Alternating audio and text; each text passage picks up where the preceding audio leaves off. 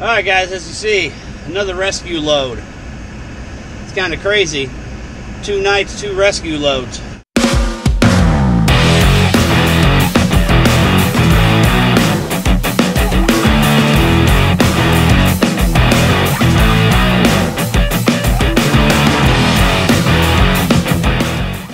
Your hustle got to be strong in this industry, as in any other industry. I got here around around 10 p.m. It's 3:21. Uh, so I'll be making it up there probably around 10 a.m. Maybe a little after with gas stop and everything.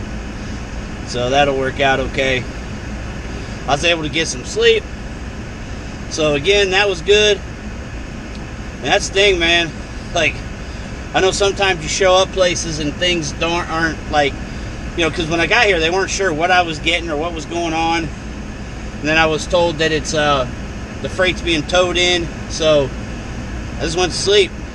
they said they'd call me, so I went to sleep. Woke up occasionally, gave them a call, got an update, and like I said, I knew I needed sleep. I wanted sleep, so just took advantage of getting some sleep while I was waiting for the freight to get here. So I'm gonna get everything situated get this stuff strapped down and everything, and then I'm gonna get on my way. Okay, so when I last updated you, I was picking up going to Buffalo, West Virginia. So I headed out, and while I was on my way to Buffalo, West Virginia to drop, I booked myself another load for that same night at 9 o'clock out of Columbus. It was 137 miles from Buffalo, West Virginia to Columbus. It was two hours and 18 minutes to get there.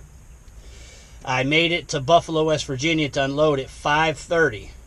Now, had plenty of time. Get in there. Usually when I get there, I get in there, I get out. Uh, so I figured I was going to be out of there by six.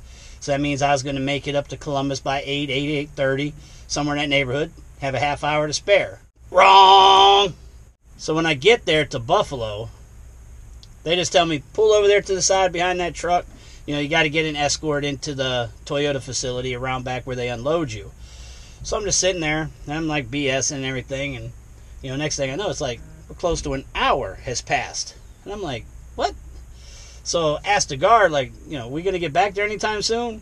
He's like, oh, I'm gonna be honest with you, it's gonna be at least 7:15 before you get back there. I'm like, oh shit, because obviously if I get out of there at 7:15 or 7:30 I'm making it there past my pickup time. So now I'm like, man, I don't want to lose this load because it's going up to Michigan. It was going Columbus to Cadillac, Michigan. So I was like, man, I don't want to lose this. But at the same time, you know, I wanted to give the broker enough time if they didn't want to leave us on the load, if there was no time to uh, get there later and then pick it up. If there wasn't anything like that, I wanted to give them time to deal with what they had to deal with, you know. So I call the broker and I let them know, and they say, "Hey, we're going to look into it. We're going to find out." Because I told them, I said, "I'll be there around 9:30, 10 o'clock, you know, somewhere in that neighborhood." I said, "But I'll easily make the uh, delivery time, which was 6:30 in the morning." And so they're like, "Let me check into it and everything." And about 20 minutes passed, and then a updated rate con came through. I'm thinking, "Oh man, they gave me a TONU or something or whatever." Uh, but all it was was just they was switching it over to another pro number, so they had to issue a, a new rate con. So everything was good there. I was able to get there whenever I get there, pick it up, make my drop. So I get out of there. I didn't get out of Buffalo, West Virginia. I didn't get out of uh, Toyota until. Sorry, I'm watching this guy, this FedEx guy, back up. He's creeping real slow because I'm back here, and then there's a tr- little flatbed truck over here. All right, all right, he got it. So anyhow, I didn't get out of Buffalo until man, I want to say it was like 7:40, and so I had to stop and get gas and everything. So I'm booking ass up there, and for me, booking ass is you know doing 70 tops. So I got up there about 10 o'clock. I go in, I check in, I let them know I'm still here. You know, I'm here picking up the uh, recovery load which that's what's crazy about it. it was another recovery. I didn't find out until I was halfway there, and the broker called me. He was like, "Oh, this is a recovery load," so you know, blah blah blah. So uh, anyhow, I check in. Nobody knew what I was there for. I called the broker. They're just like, "Hey, we're gonna call you back in a little bit. uh, let you know what's going on, and see if we can figure out what you know what the pickup number is and everything." And I'm like, "Cool, fine." So I just went back out to the van and got some sleep. I just went ahead and went to sleep. Uh, got up about about an hour and a half later. I hadn't heard from him. There wasn't no emails from the broker, so I called him, called back into the broker. I got a different person, and I'm like, "Well, hey, such and such was supposed to call me back. Oh, he's gone." He's like, "Let me reach out and see what's going on." So he puts me on hold. He comes back. He's like, "Hey, uh, the vehicle is still en route being towed. It's not on site yet. So when it's there, you know, we'll give you a call, let you know." And I'm like, "Okay, cool." So I hung up. I went back to sleep. I went back to sleep. Slept for about another hour and a half, two hours. Woke up, called the broker again. Broker said, "Oh, it should be on site." I'm like, okay, so I go in and check in, and dude's like, "No, it ain't here yet. Like they have to buzz in and come through the gate and all that. It's not here yet." So uh, I'm like, okay, well, I'm gonna go back out to the van, go back to sleep. Just come out if you would. Just come out, knock on the van, wake me up when you're ready. And he's like, "Yeah, I'll come out there and get you." Went back out there. I wasn't out there 15 minutes, and he's knocking on the van, so they showed up.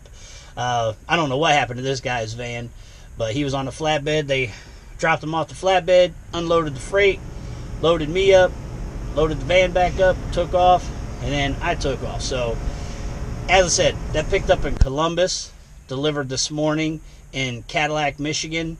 Uh, I moved down south about 50, 60 miles, uh, pulled over, got some lunch, and was about to actually go to sleep. I, I uh, texted a broker that I deal with who gets me some freight in Michigan. So I texted him and I let him know. I said, "Hey, if you get anything up here, make sure you call me." I said, "I'm about to lay it down and get some sleep, so just call me. No, don't just text me." I laid down, nodded off, ring ring. It was that broker. He had a load out of Michigan, so that's what I'm here doing right now. Is I'm picking up out of Romeo, Michigan, and I'm going to Aiken, South Carolina. This is due tomorrow morning by 10:30. Uh, it's 13 hour trip. So what? It's 4:15 right now.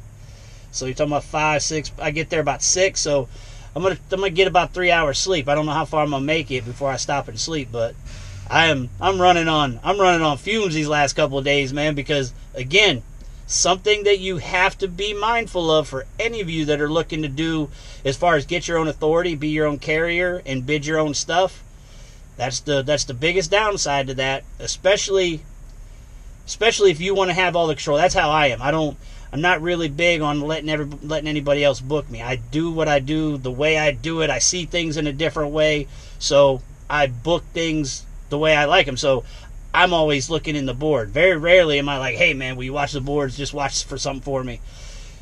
Because again, I've done it a lot in the past, and I just don't like it because I end up getting loads that I don't really care for, or or I wouldn't have taken, or maybe it ain't the rate I would have tried, or whatever it may be. So I'm the one doing my own bidding like 99.9% of the time. So be mindful of that. If you choose to do that, that's what's going to happen. You're going to be lacking sleep or any kind of time to yourself whenever you're out on the road trying to make money if you're choosing to constantly be going at it. So if you recall in the last video, I talked about I booked two different loads and I would have rather have taken the Jamestown, New York load. And it's funny how certain things play out sometimes because it's worked out well for me at the moment not having that load. So, you know, since I didn't take that load, I got the Columbus load and now I've got this load. And so it's it's worked out pretty well. So sometimes, you know, what you think is the good one sometimes ain't. Uh, and that's the that's the thing you have to figure out when you're out here. Like you just, in my opinion, you just have to roll with the punches at first. Just take the loads, take them where they take you. Then you start to learn what areas are, especially for each particular carrier, because each carrier works differently. Just like the carrier I first started with was way different than when I was with Barrett. And then what I'm doing on my own is completely different than both of those. So it's just it's always going to be different depending on the carrier or the you know how you're getting your load. So just be mindful of that. Not everything you see me do or you see somebody else on videos talk about what they're doing. It's it it may not be the same unless you're on with the same company. Then it could be similar. Other than that, it's going to be way different, possibly more than likely.